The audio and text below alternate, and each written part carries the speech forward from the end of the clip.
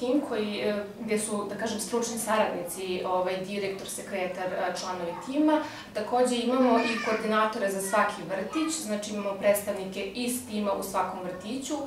To je istaknuto na oglasnim tablama, roditelji su upoznati preko sajta, sve što je vezano za tim se nalazi i na sajtu i na oglasnim tablama. Predstavnik tog vrtića je u obavezi da informiše roditelje, da prosto o svim informacijama koje se tiču. Često organizujemo tribine za roditelje, da ih informišemo. Na prvom roditeljskom sastanku dobiju informacije o timu, kome mogu da se obrate i koje su naše aktivnosti. Pre svega tim se bavi, da kažemo, preškolskoj ustanovi preventivnim aktivnostima. Prosto dolazi do konflikta i između dece na predškolskom uzrastu. Kako ih učite da u tim situacijama reaguju?